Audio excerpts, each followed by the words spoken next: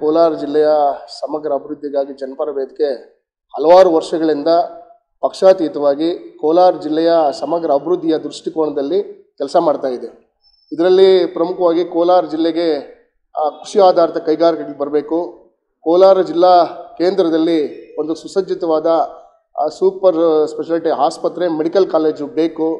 ಈ ಥರ ಹಲವಾರು ಬೇಡಿಕೆಗಳು ಇಟ್ಕೊಂಡು ಹೋರಾಟಗಳನ್ನು ಮಾಡ್ತಾ ಇದ್ದೀನಿ. ಅದರಲ್ಲಿ ಪ್ರಮುಖವಾಗಿರ್ತಕ್ಕಂಥದ್ದು ಕೆ ಸಿ ವ್ಯಾಲ್ಯೂ ನೀರು ಮೂರನೇ ಹಂತದಲ್ಲಿ ಶುದ್ಧೀಕರಣ ಆಗಬೇಕು ಅನ್ನೋಂಥದ್ದನ್ನು ಸಹ ಹಲವಾರು ಬೇಡಿಕೆಗಳನ್ನ ಇಟ್ಬಿಟ್ಟು ಕಳೆದ ಹಲವಾರು ವರ್ಷಗಳಿಂದ ಹೋರಾಟಗಳನ್ನು ಮಾಡ್ಕೊಂಡು ಬರ್ತಾ ಇದ್ದೀರಿ ಆದರೆ ಪ್ರತಿ ಬಜೆಟ್ ಸಂದರ್ಭದಲ್ಲೂ ನಾವು ಸರ್ಕಾರಕ್ಕೆ ವಿನಂತಿಯನ್ನು ಮಾಡ್ತಾ ಇದ್ದೀರಿ. ಇವತ್ತು ಕೋಲಾರ ಜಿಲ್ಲೆ ಅತ್ಯಂತ ಸಂಕಷ್ಟ ಪರಿಸ್ಥಿತಿಯಲ್ಲಿದೆ ಈ ಸಂಕಷ್ಟ ಪರಿಸ್ಥಿತಿಯಿಂದ ಜನ ಹೊರಗಡೆ ಬರಬೇಕಾದ್ರೆ ಏನಾದರೂ ಈ ಥರದ ಲೀಡರ್ಸ್ ಬೇಕು ಅಂತ ಹೇಳ್ಬಿಟ್ಟು ಎಲ್ಲ ಶಾಸಕರಿಗೂ ಮಂತ್ರಿಗಳಿಗೆ ಮನವಿಗಳನ್ನು ಕೊಟ್ಟಿದ್ರಿ. ಆದರೆ ಇವತ್ತು ಹಿಂದೆ ಇದ್ದಂಥ ಒಬ್ಬ ಎಂ ಪಿ ಇವತ್ತು ನಿರುದ್ಯೋಗ ಸಮಸ್ಯೆ ಇದೆ, ಇಲ್ಲೊಂದು ರೋಲ್ ಕೋ ರೈಲ್ವೆ ಕೋಚ್ ಫ್ಯಾಕ್ಟ್ರಿ ಮಾಡ್ತೀರಿ ಅಂತ ಹೇಳ್ಬಿಟ್ಟು ಶಂಕುಸ್ಥಾಪನೆಯನ್ನು ಮಾಡಿದ್ರು. ಅವರ ನಂತರದಲ್ಲಿ ಬಂದಂಥ ಇನ್ನೊಬ್ಬ ಎಂ ಹೇಳ್ತಾರೆ, ಇಲ್ಲ ಕೋಚ್ ಫ್ಯಾಕ್ಟ್ರಿ ಇಲ್ಲ ವರ್ಕ್ಶಾಪನ್ನು ಮಾಡ್ತೀರಿ ಅಂತ ಹೇಳ್ಬಿಟ್ಟು ಹೇಳ್ತಾ ಇದ್ದಾರೆ. ಒಬ್ಬೊಬ್ಬರು ಶಾಸಕರು ಒಬ್ಬೊಬ್ಬರ ಮಂತ್ರಿಗಳು, ಉಸ್ತುವಾರಿ ಮಂತ್ರಿಗಳು ಬಂದಾಗೆಲ್ಲೂ ಕೋಲಾರ ಜಿಲ್ಲೆಯ ಜನರನ್ನು ಯಾಮಾರಿಸ್ಕೊಂಡೇ ಹೋಗ್ತಾ ಇದ್ದಾರೆ ಹೊರತುನು ಪ್ರಾಮಾಣಿಕವಾಗಿ ಕೆಲಸ ಮಾಡಿರತಕ್ಕಂಥದ್ದು ಒಂದೇ ಒಂದು ಇಲ್ಲ.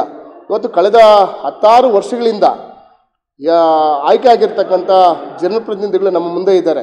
ಅವ್ರ ಕೊಡುಗೆಗಳೇನು ಅನ್ನುವಂಥದ್ದನ್ನು ನಾವು ಇವತ್ತು ಜನ ಪ್ರಶ್ನೆ ಮಾಡಬೇಕಾಗತ್ತೆ ಇವತ್ತು.